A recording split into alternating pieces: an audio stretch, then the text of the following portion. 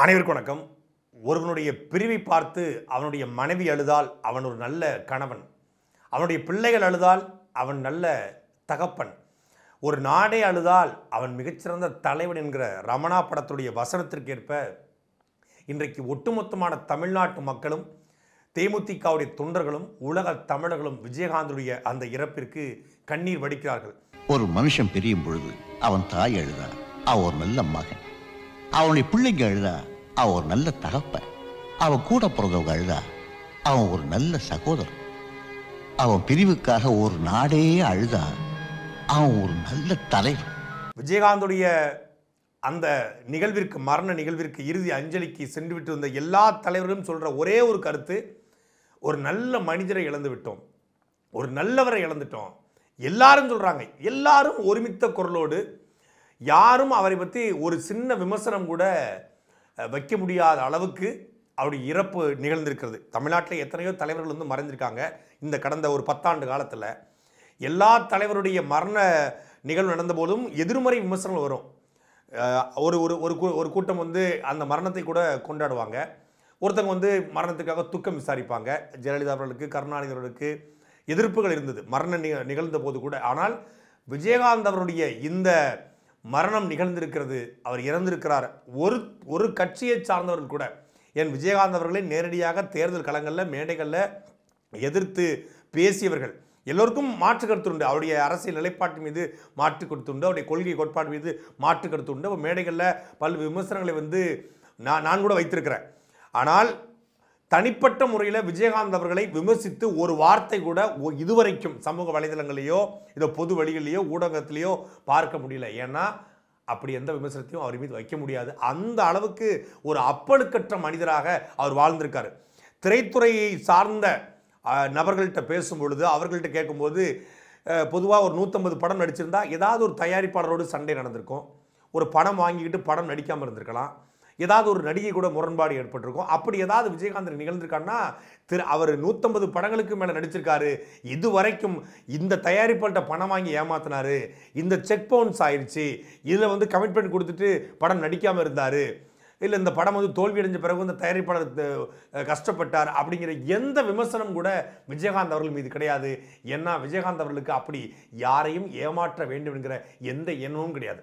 அவர் மீது எத்தனையோ விமர்சனங்கள் திரைத்துறையை சார்ந்தவர்கள் வைத்த போதும் கூட தன்னுடைய அரசியல் பயணத்தில் அவர் நினைச்சிருந்தா மேடை போட்டு அந்த நடிகர்கள் குறித்து அவர் பேசியிருக்கலாம். ஆனால் ஒரு வார்த்தை கூட தன் மீது கடுமையான விமர்சனங்களை வைத்த அந்த குறிப்பிட்ட நடிகர்கள் மீது எந்த விமர்சனத்தையும் தன் இறுதி நொடி வரைக்கும் வைக்கல. குறிப்பிட்டு சொல்ல போனால் நடிகர் வ அவர்கள் வந்து திமுகவால் பயன்படுத்தப்பட்டார். ஒரு தேர்தல் பிரச்சாரங்களில் நடிகர் வடிவேல் அவர்கள் விஜயகாந்த் அவர்களை எதிர்த்து பேசுகிறாங்க அந்த காலகட்டத்தில் அது கடுமையாக பேசுபடும் பொருளாக மாறியது. ஆனாலும் வடிவேல் அவருடைய பிரச்சாரம் எடுபடலை. தேமுதிக அன்னைக்கு எதிர்க்கட்சியாக மாறியது. அதிமுக ஆளுங்கட்சியாக மாறியது. திமுக எதிர்க்கட்சியாக கூட வர முடியாமல் போனது. ஆனால் வடிவேல் அவர்கள் குறித்து ரெண்டாயிரத்தி பதினொன்று தொடங்கி ரெண்டாயிரத்தி இருபத்தி மூணு வரைக்கும் இந்த பதிமூணு பன்னெண்டாண்டு காலத்தில் ஒரு வார்த்தை கூட விஜயகாந்த் அவர்கள் பேசியது கிடையாது. அதுதான் விஜயகாந்த் அவருடைய மாண்பு. அவருடைய அறம். தனிப்பட்ட முறையில் விஜயகாந்த் அவர்களுக்கு நெருக்கமான ஆட்கள்கிட்ட கேட்டபோது சொன்னாங்க வடிவேல் அவர்களை விஜயகாந்துக்கு அவ்வளவு பிடிக்குமா? அவர் சொன்னாராம் என்னை எதிர்த்தவன் பேசிட்டான் அப்படிங்கிறதுக்காக அவர் அவருடைய திரை வாழ்க்கை வந்து த- தடைபற்றக்கூடாது. தெரிஞ்ச இயக்குனரை கூட்டு வடிவேலுக்கு நல்ல சான்ஸ் கொடுப்பான் அவன் பிறவி கலைஞப்பா என்று விஜயகாந்த் அவர்கள் தன்னை எதிர்த்து பிரச்சாரம் செய்த தன்னை கடுமையாக விமர்சனம் செய்த வடிவேலர்களுக்கு வாய்ப்பு கொடுங்கள் என்று தனக்கு நெருக்கமான தயாரிப்பாளர்கிட்ட தனக்கு நெருக்கமான இயக்குநர்கிட்ட சொல்லியிருக்காரு. அப்போ எந்த அளவுக்கு ஒரு மனுஷன் வந்து அது தனிப்பட்ட பிரச்சனை அதை விடு தேர்தல் பிரச்சாரம் அதை விடு தனிப்பட்ட முறையில் எந்த சண்டை இருக்கக்கூடாது அவனுடைய கலைத்திறமை கெட்டு போகக்கூடாது அப்படின்னு நினைச்சாராம் இன்றைக்கு வந்து விஜயகாந்தருடைய அந்த இறுதி நிகழ்வில் கலந்து கொள்வதற்காக நான் சீமான் அவர்களோடு திருநெல்வேலியிலிருந்து விமானம் பிடிச்சு வந்தோம். நேற்று வெள்ள நிவாரணம் பண்ணி தொடர்ச்சியான திட்டம். இருந்தாலும் விஜயகாந்த் அவர்கள் இறந்து விட்டார்னு செய்தி கிடைச்ச உடனே உடனடியாக பயணிச்சுட்டு போட சொல்லி காலையில் விமானத்தை பிடிச்சு வந்தோம். அண்ணன் சீமான் அவர்கள் அந்த இறுதி நிகழ்வில் கலந்து கொண்டு பேசினாங்க. பேசும்போது சொன்னாங்க ஒருத்தன் நல்லவன்னு சொல்லலாம் ரொம்ப நல்லவன்னு சொல்லலாம் ஆகச்சிறந்த நல்லவன்னு சொல்லலாம் இல்லை நல்ல மனுஷன்னு சொல்லலாம். அதுக்கு மேலே சொல்லணும் அப்படின்னா அவன் தெய்வம் பான்னு சொல்லுவான். அப்படி தெய்வமாக வாழ்ந்தவர் தான் விஜயகாந்த் அப்படிங்கிற வார்த்தையை நான் சீமானு பதிவு செஞ்சாங்க. வையத்துள் வாழ்வாங்க வாழ்பவர் வானூரில் தெய்வத்துள் வைக்கப்படும் என்று வள்ளுவர் குரல் சொல்லுது. ஒரு யார் கடவுள் யார் தெய்வம்? வா- வாழும்போது மக்களுக்கு உதவி செய்து சாப்பாடு போட்டு தன்னால் இயலாத மக்களுக்கு உதவி செய்து வாழ்கிறவனை மக்கள் வந்து தெய்வமாக கொண்டாடுறான் அப்படி தான் முத்துராமலிங்க தேவரை காமராஜரை கக்கனை மக்கள் கொண்டாடுறாங்க. புலித்தேவனை மருதுபாண்டிய தீரன் சின்னமலையா அழகுமுத்துக்கோனை வெண்ணிக்காலனியை கொண்டாடுறாங்க. அன்ற காலகட்டத்தில் அந்த மக்களுக்கு உதவிகரமாக அவங்க நின்றாங்க அதனால் கொண்டாடுறாங்க. அப்படி விஜயகாந்த் அவர்கள் திரைத்துறையிலும் சரி தரையிலும் சரி திரையில் மட்டும் உதவி செய்யலை. திரையில் மட்டும் இருக்கிறதெல்லாம் கொடுத்துட்டு தரையில் யாராவது கேட்டு வந்தாங்கன்னா அப்படியே அமுங்கி பதுங்குற ஆள் கிடையாது விஜயகாந்த் அவர்கள். திரையிலும் அவர் உதவி செய்தார். தரையிலும் உதவி செய்தார். அப்படி ஒரு நடிகர்களை பார்ப்பது ரொம்ப அரிது. என நான் வந்து ஒரு பதினஞ்சு வருஷத்துக்கு முன்னாடி பார்த்துருக்கேன். விஜயகாந்த் அவர்கள் அரசியலுக்கு வர்றதுக்கு முன்னாடியே அரசு மருத்துவமனையில் விஜயகாந்த் அவருடைய ரசிகர் மன்றத்துடைய பெயர் போற்ற பலகைகள் கிடக்கும். அதாவது நாற்காலிகள் இருக்கும் கட்டில் இருக்கும். அந்த அளவுக்கு உதவி செஞ்சாங்க. அப்போ நான் சீமானவர்கள் குறிப்பிட்டு சொன்னாங்க உதவி இயக்குனர்கள் திரைத்துறையில் நம்மை போல யாரும் கஷ்டப்படக்கூடாது என்பதற்காக பல நூறு நடிகர்களுக்கு வாய்ப்பை வாங்கி கொடுத்துருக்காரு. பல நூறு இயக்குநர்களுக்கு வாய்ப்பை வாங்கி கொடுத்துருக்காரு. நீ எப்போ டைரக்டர் ஆகிறியோ அது வரைக்கும் என் வீட்டில் வந்து சாப்பிட்டு போன்னு சொல்லி பல உதவி இயக்குனர்கள் சாப்பிடுவதற்கான ஒரு மிகப்பெரிய இடமாக அவருடைய வீடு அமைந்திருக்கிறது. அவர் என்ன சாப்பிட்றாரோ அதுதான் லைட்மேனுக்கு. அவர் என்ன சாப்பிட்றாரோ அதுதான் மேக்கப் ஆர்டிஸ்ட்டுக்கு அவர் என்ன சாப்பிட்றாரோ அதுதான் வந்து ட்ராலி தள்ளுற ஆளுக்கு. எல்லாருக்கும். அவர் அவரில் வஞ்சர மீன் இருக்கா? எல்லாருக்கும் வஞ்சர மீன் அந்த முறையை இன்னைக்கு திரைத்துறையில் வந்து பல்வேறு மாற்றங்கள் ஏற்பட்டிருக்கு. அந்த மாற்றத்திற்கான விதையை போட்டது விஜயகாந்த் அவர்கள். விஜயகாந்த் அவருடைய அரசியல் நிலைப்பாட்டின் மீது விமர்சனம் வந்திருக்குது. அரண் சீமானவர்களும் விமர்சனம் செய்து பேசியிருக்காங்க. ஆனால் தனிப்பட்ட முறையில் விஜயகாந்தை வந்து அழிக்கணும். விஜயகாந்த் அழிந்து போகணும் என்று எந்த நேரத்திலும் நாம் தமிழ் கட்சி நினைத்தது கிடையாது. ஆனால் தமிழ்நாட்டில் விஜயகாந்த் அவர்கள் அழிக்கப்பட வேண்டும் என்று விஜயகாந்த் அவர்களை திட்டமிட்டு ஒரு கூட்டம் அளித்தது. விஜயகாந்த் அவர்களுடைய தனித்த ஆளுமை அவருடைய மனிதநேய பண்பு அவருடைய கரைபடாத கரங்கள் இதுவரைக்கும் விஜயகாந்த் அவர்கள் வந்து எந்த கார்ப்பரேட் கம்பெனிக்கிட்டேயோ எந்த மணல் குவாரிக்கிட்டேயோ எந்த கல் குவாரி அதிபர்கள்ட்டையோ காசு வாங்கினதா செய்தி கிடையாது. வைகுண்டராஜன் அவர்களை நேரடியாக எதிர்த்து பேசினார். தூத்துக்குடியில் கூட்டம் போட்டு எதிர்த்து பேசினார். அப்படி பல முதலாளிகளை எதிர்த்து களத்தில் நின்னார். அப்போல்லாம் அவரை வந்து ஒரு கூட்டமே திட்டமிட்டு காலி பண்ண முடிவு செய்தது. சொல்லப்போனால் ரெண்டாயிரத்தி ரெண்டாயிரத்தி அஞ்சில் அவர் வந்து கட்சி ஆரம்பித்த பிறகு இவர் நமக்கு மிகப்பெரிய சவாலாக வருவார். அவரால் தான் அந்த நேரத்தில் வந்து நமக்கு பல இடங்களில் ஓ- வா- வாக்கு வந்து பிரிக்கப்பட்டிருக்கு. எட்டு விழுக்காடு வாக்கை முதல் தேர்தலில் பெற்றார்னோடனே திட்டமிட்டு அவருடைய மண்டபத்தை இடிப்பதில் தொடங்கியது விஜயகாந்தை அழிக்க நினைத்த அரசியல். ரெண்டாயிரத்தி ஏழாம் ஆண்டு நல்ல ஞாபகம் இருக்குது திமுக ஜெயிக்குது. ஜெயிச்ச பிறகு விஜயகாந்தை முடக்கணும் மொத்தமாக அப்படின்னு திட்டமிட்டு கிட்டத்தட்ட ஒரு ஏக்கர் அந்த மண்டபம் மிகப்பெரிய மண்டபம். விஜயகாந்த் அவர்கள் உழைச்சி ஒரு மூணு நாள் நான்கு நாட்கள் தூக்கம் இல்லாமல் படங்களை நடித்து பல நாட்கள் தன்னுடைய உழைப்பை உழைப்பை ரத்தத்தை சிந்தி வேர்வை சிந்தி சம்பாதிச்சு சம்பாதிச்ச அந்த பணத்தில் வாங்கிய அந்த ஆண்டாள் அழகர் திருமண மண்டபத்தில் முப் எழுபது விழுக்காடு உடைச்சு எடுத்தாங்க. அந்த அந்த மண்டபத்தை உடைச்சி தான் பாலம் கட்டணுமா அப்படின்னா இல்லை. அந்த மண்டபத்தை உடைக்காமலே பாலம் கட்டியிருக்க முடியும். அது பக்கத்தில் கிட்ட இடமுகள் இருக்குது ஆனாலும் திட்டமிட்டு இதில் மேம்பாலம் வருதுன்னு சொல்லி மொத்தமாக எழுபது விழுக்காடு உடைச்சாங்க. மண்டபம் வந்து இடிப்பதற்கு முன்னாடி எப்படி இருந்துக்கு பாருங்க. கிட்டத்தட்ட பதினஞ்சு ஜன்னல். ஆனால் இடிச்ச பிறகு மொத்தமே மூணு ஜன்னல் தான் இருக்குது எழுபது விழுக்காடு அந்த மண்டபத்தை இடித்து காலி பண்ணாங்க. அதில் விஜயகாந்த் கடுமையாக மன உளைச்சலுக்கு ஆளானார். நம்ம அரசியலுக்கு வந்திருக்கிறோம். நேரடியாக களத்தில் மோதலாம். ஆனால் நம்மளை வந்து புறமுதுகில் நம்மளை குத்துறாங்க. நம்ம சம்பாதிச்ச பணத்தில் வாங்கின மண்டபத்தை இடிக்கிறாங்களே. இங்கே பல தலைவர்கள் வந்து மக்களுடைய சொத்துக்களை வந்து ஊழல் செய்து லஞ்சம் வாங்கி அபகரித்து இடங்கள் வாங்கி போட்டிருக்காங்க.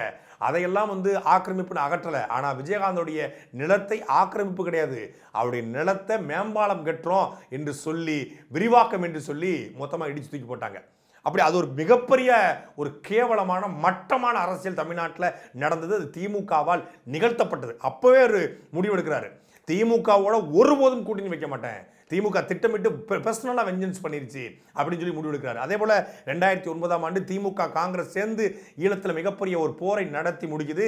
திமுகவில் மிகப்பெரிய துரோகம் பண்ணதுக்கப்புறம் விஜயகாந்த் அவர்கள் கொடுத்த பேட்டி இன்றைக்கும் பத்திரமாக இருக்கிறது சொல்கிறாரு காங்கிரஸ் திமுக ஒன்றரை லட்சம் ஈழத்தமிழை கொண்டு விட்டது. ஒருபோதும் திமுக காங்கிரஸுக்கு தமிழர்கள் ஓட்டு போடக்கூடாது என்று சொன்னார். துப்புனார் காரி துப்புனார் காங்கிரஸை துரோகி காங்கிரஸ் துரோகி திமுக என்று. அப்போ ஆனால் அந்த நிலைப்பாட்டில் விஜயகாந்த் அவர்கள் உறுதியாக நின்னார்.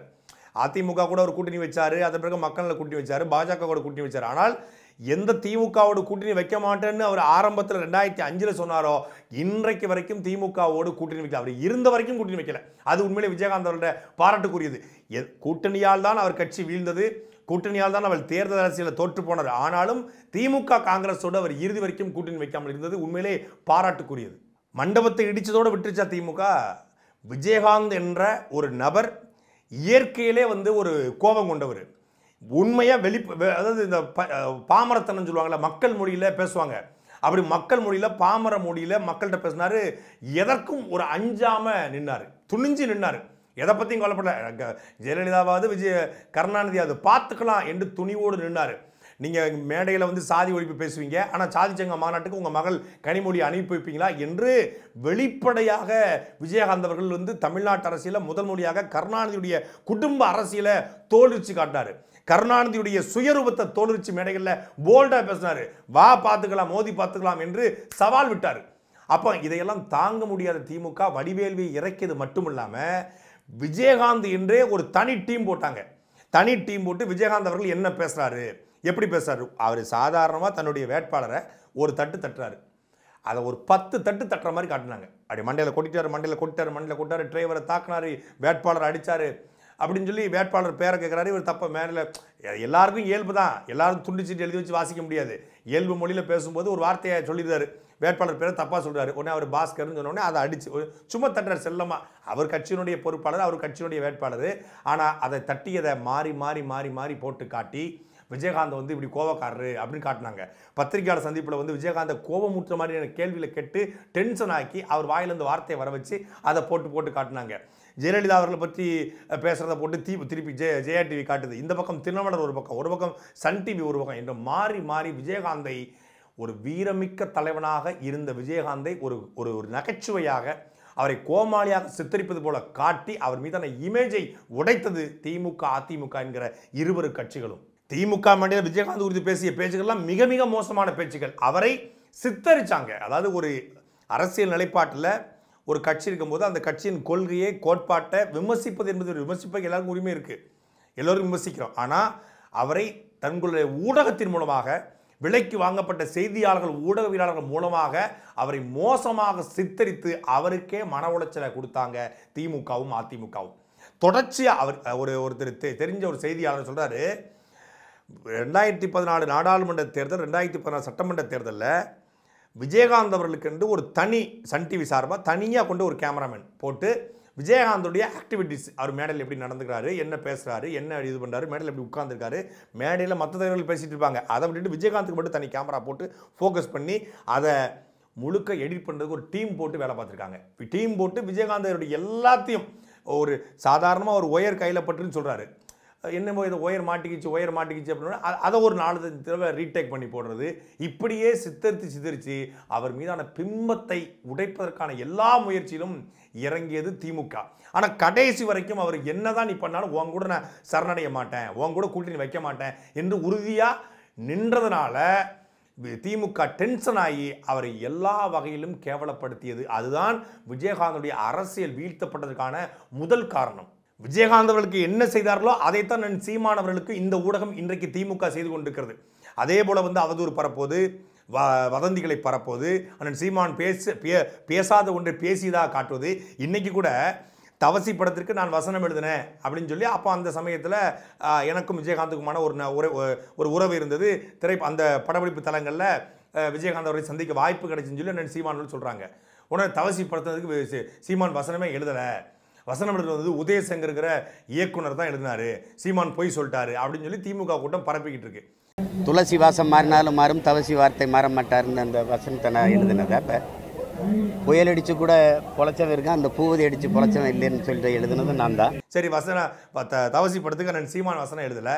அப்புறம் எதுக்கு தவசி படத்துடைய டைட்டில் கார்டில் நன்றி சீமான்னு போட்டிருக்காங்க? எதுக்கு போடுறாங்க?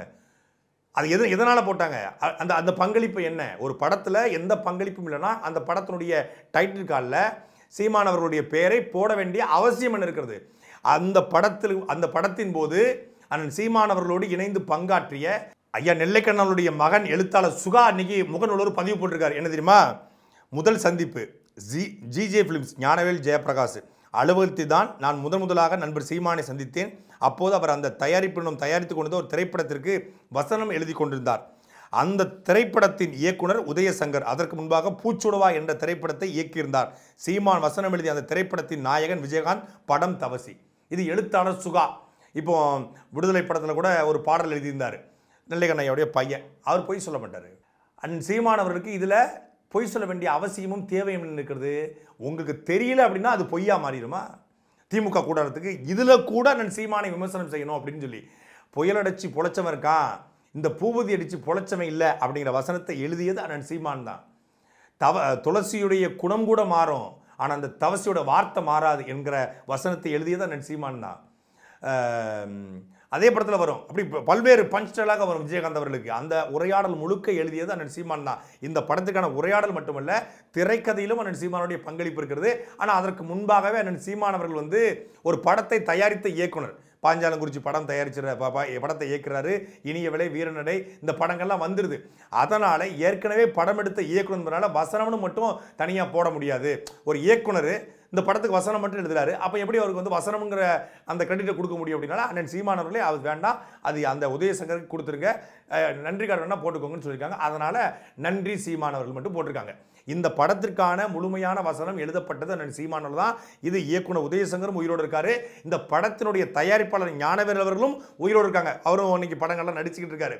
ஒரு ரத்தமும் சதியமாக இவங்கள் வாழ்ந்து கொண்டிருக்கும் பொழுது எப்படி ஒரு தவறான தகவலை சொல்ல முடியும்? அப்போ திமுக கூடாரத்துக்கு எப்படியாவது அண்ணன் சீமான் அவர்களை விமர்சனம் செய்ய வேண்டும்.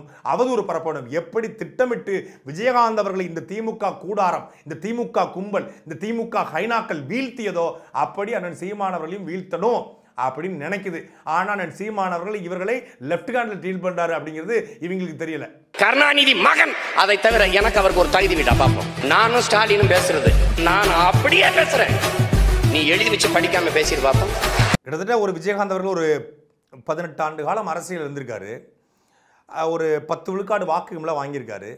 தி திமுக காங்க திமுக பாஜகவோட கூட்டணி வச்சிருக்காரு. அவர் நினச்சிருந்தா குறைந்தபட்சம் ஒரு நூறு கோடி ரூபாய் சம்பாதிச்சிருக்க முடியும். ஏன்னா இருபத்தொம்போது சட்டமன்ற உறுப்பினரை பெற்றிருக்காரு. பாராளுமன்றத்தில் பத்து விழுக்காடுக்கு நெருக்கி வாக்கு வாங்கியிருக்காரு. மோடியோடு தொடர்பு வந்திருக்காரு மத்திய அமைச்சரோடு தொடர்பு வந்திருக்காரு அப்போ ஒரு குறைந்தபட்சம் நூறு கோடி சம்பாதிச்சிருக்க முடியும். ஆனால் அந்த அரசியல் வச்சு விஜயகாந்த் அவர்கள் ஏதாவது சம்பாதிச்சிருக்காருன்னு பார்த்தா சம்பாதிச்சிருக்காரு. பணமாக இல்லை. இவ்வளோ பெரிய தமிழ் இனமாக சம்பாதிச்சிருக்காரு. இன்றைக்கி வந்த மக்கள் பல பேர் பாமர மக்கள். விஜயகாந்தனுடைய அந்த மரண நிகழ்வுக்கு நான் சீமானோடு போயிட்டு வந்தேன். நான் யாருடைய மரணங்களுக்கும் பெருசாக போகணும்னு நினைக்க மாட்டேன். கூட்டமாக இருக்கும். நம்ம இந்த இடத்துலேருந்து அவங்கள நினச்சிக்கிறது. இப்போ திருச்சியில் இருக்கிறனால சென்னைக்கு பல பேர் பல நமக்கு நெரு ரொம்ப நெருக்கமானவங்க இல்லை நம்மளை நம்ம நம்ம ரொம்ப போற்றுனவங்களாம் இறந்துருக்காங்க. போகணும்னு ஆசைப்பட்டதில்லை. ஆனால் விஜயகாந்தோடைய மரணங்களுக்கு எப்படியாவது போய் அவருக்கு வணக்கம் செலுத்தணும்னு சொல்லி நான் விரும்பினேன். அதனால தான் நான் சீமானோடு வந்தேன். அப்போ அதை பார்க்கும்போது நமக்கு ஒரு அவ்வளவு ஒரு இது இருந்துச்சு. ஏன்னா அவர் சின்ன வயசுலேயே ஒரு கொண்டாடின ஒரு நடிகர் முதல் வாக்கு போட்ட ஒரு தலைவர் அவர் இறந்து போயிட்டார் அப்படிங்கும்போது ரொம்ப சங்கடமாக இருந்தது. ஏன்னா ரெண்டு மூணு ஆண்டுகளாக அவர் வந்து ஒரு வெளியே வராமல் இருந்தாலும் கூட அவர் இந் இவ்வளவு சீக்கிரம் இறந்துருக்கக்கூடாது ஒரு பத்தாண்டு காலம் அவர் இன்னும் உயிரோடு இருந்திருக்கலாம். ஏன்னா அவர் வயதை ஒத்த நடிகர்கள் வந்து இன்னும் ஆக்டிவாக இருக்காங்க. அவர் அவ்வளவு ஒரு போல்டாக அவ்வளோ ஆக்டிவாக நல்ல ஆரோக்கியமான உணவுகளை சாப்பிட்டு உடற்பயிற்சி செஞ்ச ஒரு நடிகர். இப்போ ரஜினிகாந்த் அவர்கள்லாம் வந்து பெரிய சிக்ஸ் பேக் வச்ச நடிகர் கிடையாது. உடற்பயிற்சி செஞ்சு கட்டு மஸ்தாலாம் உடலை அவர் வச்சதில்லை. யோகா அந்த மாதிரி ஒரு சிம்பிளாக இருந்தவர் தான். அவர் கூட வந்து புகைப்பிடிக்கிற பழக்கம் உண்டு. விஜயகாந்த் அவர்கள் உடலை அவ்வளவு வலுவாக வச்சிருந்தார். அப்படி இருந்தும் அவர் உடல் வீழ்ந்துருச்சு. அதுக்கு மிக முக்கியமான காரணம் இந்த திராவிட கட்சி இந்த தி- திமுக அதிமுக போன்ற கட்சிகளுடைய அஹ், காழ்ப்புணர்ச்சி வன்மம் அவர் மீது செய்யப்பட்ட அவதூறு அதை மனதளவில் அவரை குலைய வைத்தது. மனம் குலைந்து அவர் உடல் குலைந்து தான் அவர் இவ்வளவு விரைவாக இறந்து போவதற்கு மிக முக்கியமான காரணம். அப்போ ஒருவேளை அவர் வந்து ஒரு பத்து ஆண்டுகள் உறுதியாக இருந்திருப்பார்னா ரெண்டாயிரத்தி பதினொன்றில் இருந்த உடல்நிலையில் ஆரோக்கியத்தில் அவர் ரெண்டாயிரத்தி பதினாறு இருபத்தொன்னில் இருந்திருப்பார்னா நிச்சயமாக தமிழ்நாட்டு அரசியலில் மிகப்பெரிய மாற்றம் உருவாயிருக்கும். சத்தியமாக ஸ்டாலின் முதலமைச்சர் இருக்க மாட்டார். இதைத்தான் அண்ணன் சீமானவர்களும் பதிவு செஞ்சாங்க. நடிகர் ரஜினிகாந்த் அவர்களும் அதை தான் பதிவு செஞ்சார்.